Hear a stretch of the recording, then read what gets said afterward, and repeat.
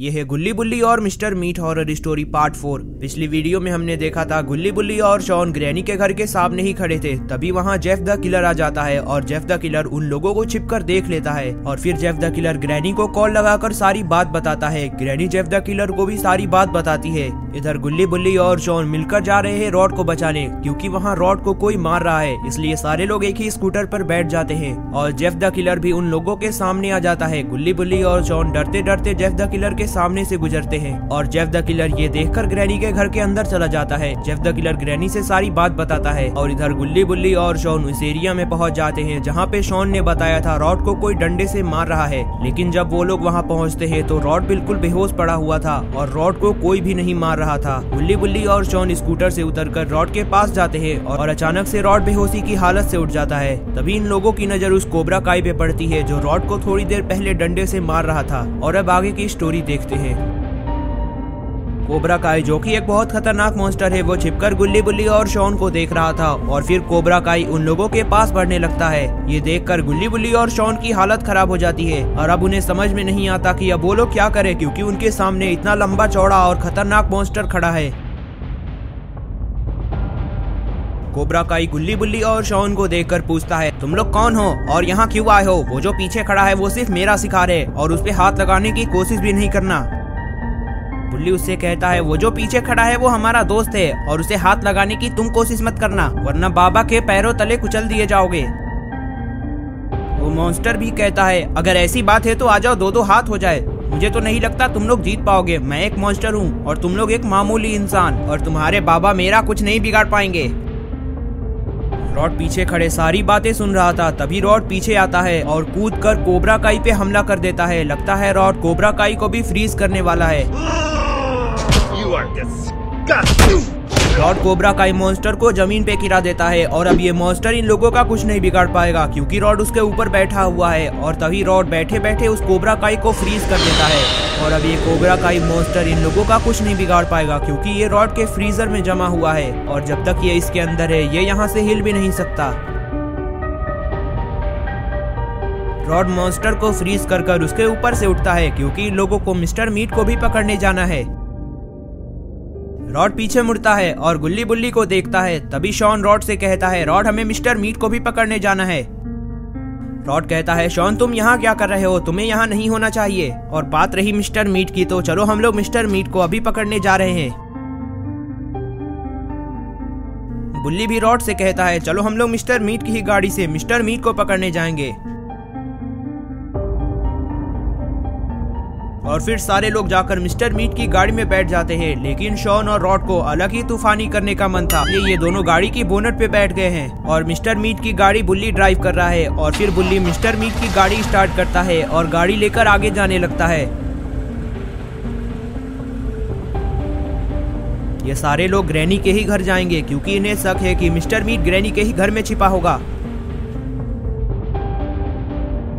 Jeff the killer granny के घर में बैठा हुआ था और बैठकर किसी से कॉल पे बात कर रहा था। जेफ द किलर गुंडों को यहाँ बुला रहा है ताकि वो गुंडों को बुलाकर गुल्ली बुल्ली और बाबा को मरवा सके, क्योंकि इन्हें पता है ये लोग तो उन लोगों का मुकाबला कर नहीं सकते। लेकिन तभी mister meat Jeff the killer से कहता है, इस बंदे को तो मैं जानता हूँ और इसे पहले भी देख चुका हूँ, लेकिन मुझे ठीक से याद नहीं आ रहा। ग्रैनी मुझे बता दो ये कौन है?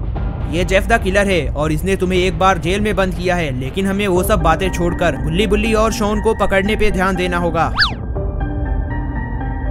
ग्रैंडपा ये सुनकर कहते हैं, मैं आज गुल्ली बुल्ली को पकड़ लाऊँगा। तुम लोग यहीं खड़े रहो और मेरा जलवा देखते रहो।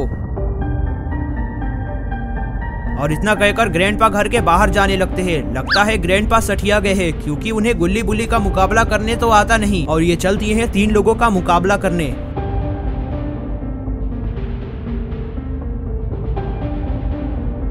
ग्रैंडपा आकर घर का मेन गेट खोलते हैं, लेकिन इन्हें गुल्ली बुल्ली कहीं दिखाई नहीं देते, क्योंकि गुल्ली बुल्ली तो यहाँ से चले गए हैं, और ग्रैंडपा को गुल्ली बुल्ली का पता पता भी नहीं है। ग्रैंडपा को तो गुल्ली बुल्ली दिखते नहीं, लेकिन ग्रैंडपा को गुल्ली बुल्ली की जीप दिखती है, और फिर ग्रैंडपा गुल्ली बुल्ली के जीप के पास आ जाते हैं। जीप देखकर ग्रैंडपा समझ जाते हैं की गुल्ली बुल्ली कहाँ गए और फिर ग्रैंडपा दौड़कर उधर ही जाने लगते हैं। लगता है आज ग्रैंडपा गुल्ली बुल्ली को पकड़ कर रहेंगे।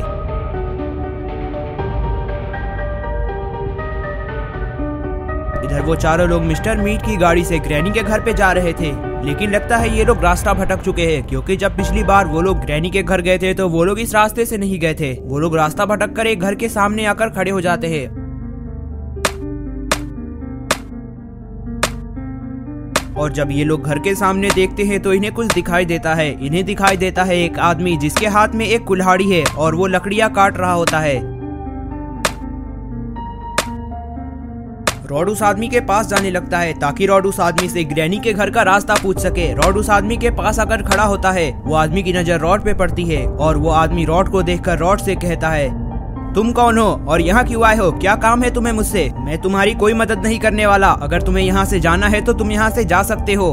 ये सुनकर रॉड उस आदमी से कहता है, मेरा नाम रॉड है, और क्या तुम ग्रहणी के घर का रास्ता जानते हो? मुझे सिर्फ़ यही जानना है। ये सुनकर वो आदमी रॉड से कहता है, मुझे नहीं पता ग्रहणी के घर का रास्ता कहाँ है। मुझे तो ये भी नहीं पता ग्रहणी कौन है। तुम्हें तुम्हारे सवालों का जवाब मिल चुका है, और अब तुम यहाँ से जा सकते हो। मुझे अपना काम करने दो।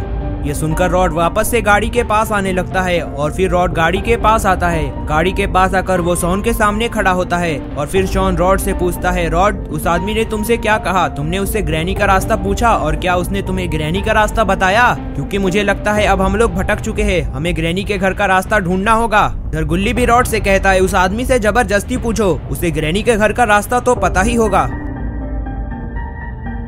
अभी ये लोग इधर बात कर रहे थे और इधर ग्रैंडपा उन लोगों को ढूंढते ढूंढते उस जगह पे पहुँच चुके हैं। और ग्रैंडपा उन लोगों को देखकर बहुत खुश हो जाते हैं क्योंकि अब उन्हें उनका टारगेट मिल चुका है। लेकिन तभी मिस्टर मीट भी ग्रैंडपा को ढूंढते ढूंढते वहाँ आ चुका है क्योंकि ग्रैनी ने मिस्टर मीट को भेजा था ग्रैंडपा को ढूँढने और मिस्टर मीट वहाँ आते ही ग्रैंडपा को एक लप्पड़ लगा देता है। ग्रैंडपा ये देखने पीछे मुड़ते हैं कि उन्हें लपड़ कौन लगाया? पीछे मुड़ते ही ग्रैंडपा को मिस्टर मीट दिखता है। मिस्टर मीट ग्रैंडपा से कहता है, ग्रैनी तुम्हें बुला रही है। तुम्हें घर चलो। तुम्हें ग्रैनी डंडे से मारेगी। तुम बिना बताए दौड़कर यहाँ आ चुके हो। और फिर ग्रैंडपा ने भी मिस्टर मीट को एक लपड़ लगा दिया और कहा, मैं उन लोगों को ढूंढते ढूंढते यहाँ आया हूँ और तुम बस देखते रहो, मैं उन्हें कैसे पकड़ता हूँ। अभी भी बुढ़ौती में मेरे पास बहुत ताकत है। ग्रैंडपा और मिस्टर मीट के बीच बातें चल रही थी और इधर इन चारों लोगों को भी उन लोगों की बातें सुनाई दे देती हैं। और फिर रॉड शॉन से कहता है, वो देखो, शिकार चलकर हमारे पास खुद आया है। और इतना सुनते ही गुल्ली बुल्ली भी गाड़ी से बाहर उतर जाते हैं और अब ये सारे लोग मिलकर उन दोनों को देख रहे हैं। तभी मिस्टर मीट की नज़र उन लोगों पे भी पड़ जाती है और मिस्टर मीट ग्रैंड से कहता है ग्रैंड देखो, उन लोगों की नज़र हमारे ऊपर पड़ गई है। हमें यहाँ से भागना होगा। तुम्हारे एटीट्यूड के चक्कर में हम सारे लोग पकड़े जाएँगे।